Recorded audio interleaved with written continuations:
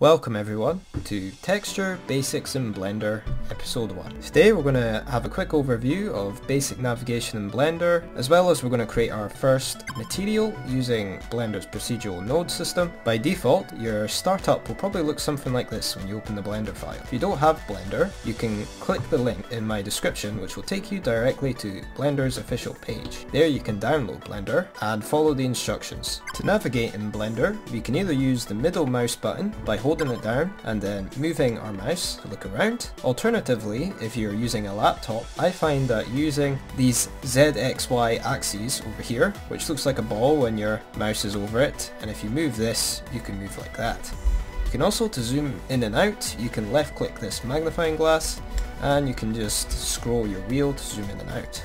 Can also, if you're on a touchpad, you can just left click it and then pull it back and forth. Next up we have this hand symbol which allows you to pan around the Blender 3D viewport. Now it's a tradition in the Blender community to always delete the default cube. So to do that I'm going to press A for all to select everything, then I'm going to press X to delete. Now we want to add a new object into our scene, so I'm going to press the shift key, hold it and then press A and this will bring up my admin. Then I'm going to hover over mesh here and I'm going to go into this menu. I'm not clicking anything, I'm just hovering with my mouse. I'm going to left click cube. Now I've added in my cube, you can see it has an orange highlighter. That means this object is selected. To select your object, simply left click it. You'll notice if you left click away from the object, it will become unselected. So let's left click it again. If an object is selected but it has a red outline, it's selected but it isn't the active object. The active object being the object which you can edit using this menu here. This menu is called properties. With multiple selected objects, you can perform other operations together such as going to edit mode or deleting. In this property menu here, we're going to left click on this checkered sphere down at the bottom. This is called our material properties window. Another menu that we'll be using a lot throughout this course is called the shader editor menu. This editor menu is quite a bit bigger, so I'm going to drag up my timeline here uh, just by left clicking at the top here and just dragging my mouse or my touchpad. Now at the far left you can see a clock shape. That essentially is the symbol to represent the timeline. But we're not doing any animating today so we're going to switch to a different workspace. So I'll left click on the clock and I'm going to come under general and I'm going to left click shader editor. As you may have noticed, both the shader editor and the material properties one have a plus new option. This does the exact same thing, and if I press plus new in one of these, you can see that both these menus have updated. This is because we're in the same object, so these are essentially different ways of altering the material. Now over here in the materials properties, you can see we've got a bunch of parameters here, which we can edit to change our cube. Let's go ahead and change the base color to blue. I'm going to click on this white square here, and this is going to open up my color menu. Then I can just left click and drag around and select this really deep blue colour. You will also notice that in the shader editor it is updated automatically. The material properties is essentially representing this shader here called the principled BSDF. Now in order to see our material, we're going to go into another viewing. So we've got four viewing modes. First one is called wire. This allows us to see our mesh in a wire view. There's also a button up here called the X-ray and what that does is allow us to see through the object. If I turn this off, you can see it's still a wire, but I can't see through it. Next up, we've got solid mode. This is the default setting in Blender. We can also use the X-ray for this one too, um, and as you can see, we can now see through our object. The final two are called the material preview and the rendered. The rendered view will, will give us a rough idea of how our final render will look. Material preview allows us to view our material in a manner which is much quicker than the rendered. So I'm going to click on this one here.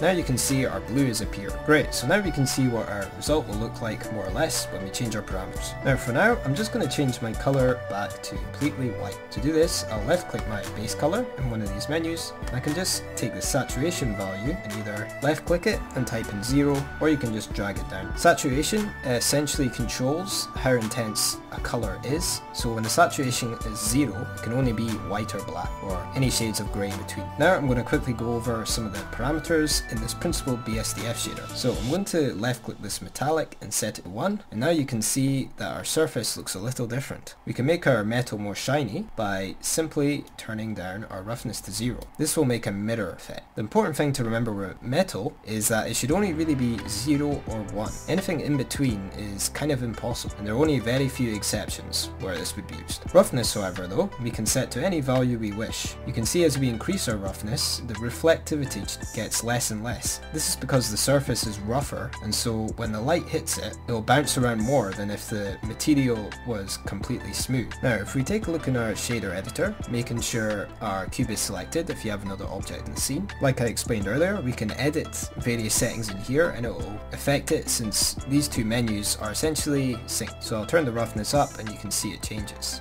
The shader editor is brilliant because it allows us to visualize the workings behind our material in a sectioned manner using nodes. Now by default when we created our material, it added a principled BSDF shader and a material output which determines what we see in the 3D viewport. Notice if I left click my material output in my shader editor and press X to delete, you'll notice that the cube will go completely black and it'll have no form of shading applied. So to undo that, I'll just press Ctrl and then Z. Same thing will also happen if we disconnect our shader from the surface here. To do that, we can just left click the socket and drag it out. So as you can see, that wire was connecting the two. So I can just drag from this BSDF here and connect it to the surface. So if this is a material, then what exactly is a texture? Well, in Blender, when we make something in the shader editor, or the material's properties, we're creating a material using Blender's node system. However, a texture is an image which we can use in Blender, in the shader editor, and in other software, such as game engines. Blender also comes in with built-in textures, which we can use to create what is called a Blender procedural texture, which is a texture created just using the built-in nodes in Blender, and not relying on external images or texture paint.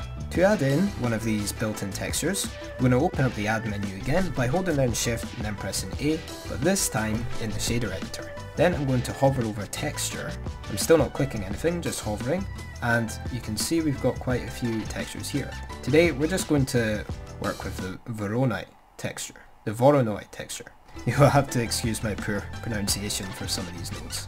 Now, a node we're going to be using when we're making procedural textures a lot, or just textures in general, is a free add-on built into Blender called the Node Wrangler. It's super simple to add. All we're going to do is left click edit, then left click preferences, left click on the add-ons tab, left click the search bar, type in node, N-O-D-E, and you can see we've got Node Wrangler here. I've already got it enabled, but if you don't, just left click that tick box there. Then you can left click these three bars down in the bottom left hand corner of the menu, and just left click save preferences. Now I'm just going to press X to close this menu. Now Node Wrangler has a really cool feature which allows us to temporarily view the material without permanently disrupting the material we're making. So to use this view fun function, I'll just press Ctrl, Shift and left click on this Voronoi texture. You can have a wee mess around with these parameters here. See we've got quite a few options. You can mess around with these uh, scale and randomness values and you can see it will update the texture here. Also change the randomness to make things more uniform or random. You also notice there is a color and position circle. We call these sockets in Blender. I'm going to press Ctrl Shift and left click on the yellow one and now we can see what the color looks like. We're not going to worry about the blue circle just now. Today we're going to be using the first one, which is distance, to create a nice circle pattern. So I'm going to press Ctrl Shift left click on the distance. If it goes down to position, just press it again. Before we make our material, I'm going to give you a couple more examples. So I'm going to press Shift and then A to open the Add menu, then under Texture I'll left click Musgrave Texture. Then I'll press Ctrl Shift left click on this one. You can see we've got another type of texture which we can use for making our own materials. I'll press Shift and then A again, and this time I'm going to add image texture. Now this texture is usually how we would import images to use within our material. This would commonly be used with uh, texture bakes, we will be covering how baking works and how to do it in the next episode. To delete my nodes I just left click them and press X. I'm going to control shift and left click on my Voronoi again. Now if I want to replace my base color with this texture, we very simply drag the distance and insert it into the base color socket. Now if I control shift and left click on the principled BSDF, you can see we've got these dots here that are affecting our metal material. I'm going to turn my metal value back down to 0 since we're not making a metallic material today. So left click it and then type in 0. Now since I'm making a kind of spotty wallpaper material, I want these circles to be a little bit more pronounced because as you can see at the moment they're just dots with a little bit of a gradient around them. So to do that I'm going to need a little bit more control in between my Voronoi texture and my principled BSDF. So to do that, we're going to use a node called the color ramp. So hold down shift, then A, and under converter, I'll left click on color ramp. Then I can just drag this in between these two nodes and it will appear here. Now, nothing will change straight away, but as we alter this bar here, I can just drag one of these along, and you can see that's making things more pronounced. So I recommend having a play about with this. So in order to make these circles sharper, I'm simply going to left click this black slider here and just pull it towards the white one. I'm then going to drag my white value closer to the black one to create a nice bit of contrast. That should do nicely. Now another cool feature about the color ramp is the ability to actually alter the base color. So as you might imagine, the white slider here represents all the white color on this material, so if I were to change this, it would change the material where it's white. If I press Ctrl Z to undo that, I'm going to create a nice gold color for this black here. So I'll turn up the brightness and I'll go for a kind of orangey yellow color and I'll turn down the value by left clicking on this grey slider. I'm just going to alter it till I find something I like. So quite orangey looks quite good. So if you want to get the exact same number that I'm using, I'm going to left click on this option called hex. Now a hex code is like a combination of letters and numbers which represents each type of colour in the RGB system. So you can literally type this in to your hex code and you'll get the exact same color as me. I'm now going to alter my roughness and I'm going to change it to 0.5. So left click it, then type in 0.5. Awesome, so now we've got our spotty wallpaper texture, but what if I wanted to add another material to this object? How would I go about doing that? Well, technically we could do it within this same material, but for now I'm going to show you a much easier way. So I'm going to come up to my material properties window, and you can see there's a plus and a minus button. If I were to left click this minus button, it would remove this material. So I don't want to do that, so I'm going to left click the plus button. I'm also going to name my material as well, so I'll left click on my material.001 again, might just be material for you. I'm going to left click the name here, I'm going to call it spotty wallpaper. Then I'm going to left click on my new material, which is blank just now. In fact, it's not even a material yet, it's just a slot. So I'll click plus new in one of these menus again, and I'm then going to need to assign this material to one of these faces. So right now it's a default material, which is just a white base color, and by default the roughness is at 0.5, which is just what we need. So I'm going to press tab into edit mode, and I'm going to press free on the keyboard. This will allow me to select one of these faces. So I'm going to left click one of these faces here, left click my second material on the materials properties, then simply assign. And what that's done is assigned this material here to this face on the object. You can do this for as many faces as you want, but I'm just going to do it with one face just now. By default, you can just press tab to quickly change between edit and object. But I've got a special feature which allows me to change this in a more controlled way. I'm going to go back to my spotty wallpaper because I want to have the same colour as these dots on the square. So I'm going to left click my gold slider, then left click the colour here, and I'm going to left click on our hex value. This will automatically highlight it. I'm going to press and hold control and then C, and that's going to copy it. Then I'm going to left click on my material.001, left click base colour, then under hex, I'm just going to left click to highlight, and then press Ctrl and then V to paste. Now you can see our square is now gold.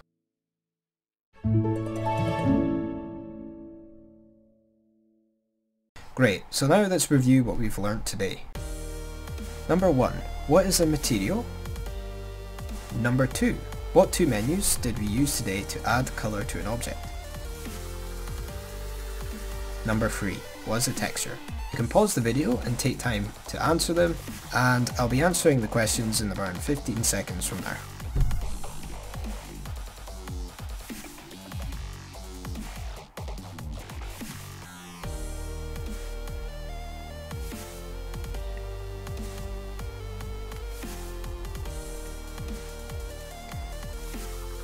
Number 1. What is a material? Material is something we create in Blender to alter the colour of our object and add unique patterns. What two menus did we use today to add colour to our object? The first one was the materials properties window. This allowed us to make quick edits to our material. The second editor was called the shader editor. This allowed us to have more complex control over our material. What is a texture? A texture is an image, whether built into Blender or external, which we can use over multiple types of software to edit certain parameters of a shader.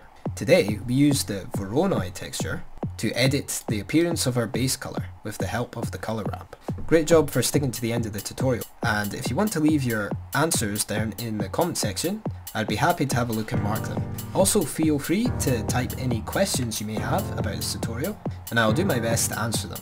In the next video we're going to cover how to bake our materials which is essentially converting this spotty texture we've made using two materials onto a single image, which we could then use in other engines or in a new Blender file. Great job today everyone, and thank you for watching. I hope you enjoyed the tutorial, and I'll see you in the next one. Take care.